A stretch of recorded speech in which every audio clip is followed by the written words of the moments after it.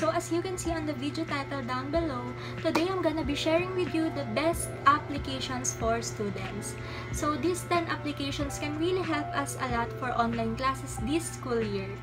I'm also taking online classes for this school year. I'm an incoming second year college student of Lyceum of the Philippines University, Cavite, and their online class will start this September. So, I wanna share with you these applications guys para naman matulungan ko din kayo for your online class. These applications can really help us a lot talaga. Okay, so the first app is Canva, graphic design and video. Uh, you can edit here your photos. Halimbawa, pag gagawa ka ng mga logo, mga collage, presentations, mga posters, and more. You can also choose from 60,000 plus beautiful templates. This is a simple and free image editing app. Basta if mag edit ka ng mga photos, you can use Canva for everything. You can edit your text, change the fonts, and use filters. Share your designs directly to email and other applications, and you can also save it to your device. Documents by Readdle. So, this is a central hub for all your files. So, ito yung magsisilbing lagayan ng mga files mo. In this app, you can also view and mark up image, uh, read books, download anything from internet, transfer files from anywhere, and it will also help you to stay organized. Quizlet, flashcards, and homework. Quizlet is the easiest way to study, practice, and master what you are learning.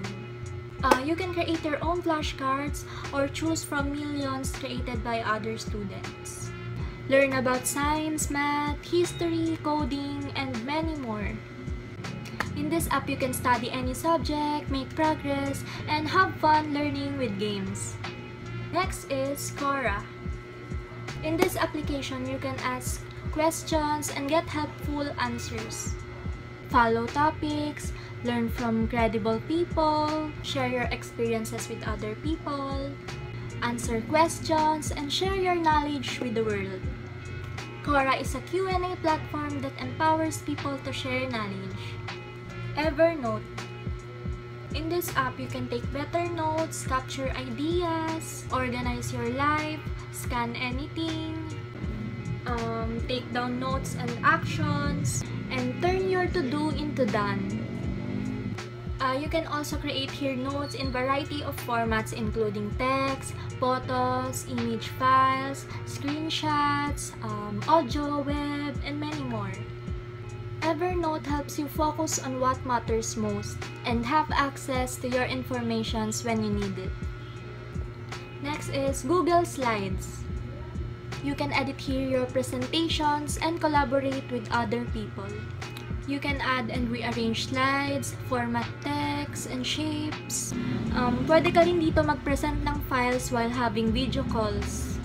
Work together in real time, Create anywhere, anytime, even offline. Present to everyone using any device. Edit and share multiple presentation types. Oxford Dictionary of English, the most trusted English dictionary in the world. We must need to learn new word every day. Autodesk Sketchbook.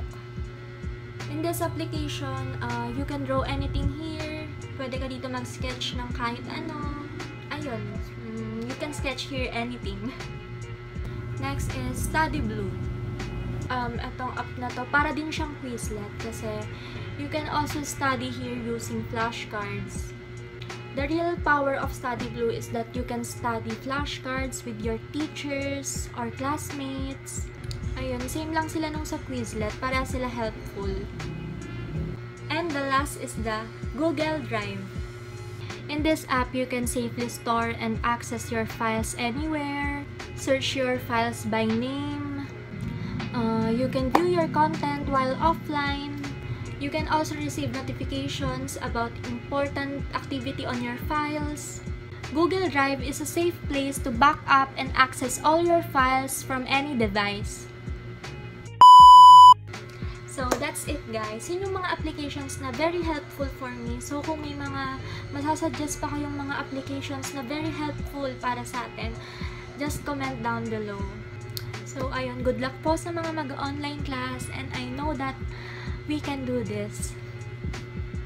Thank you so much for watching guys. I really hope that you like my video. So don't forget to like, share, comment, subscribe, and don't forget to hit the notification bell button for more videos.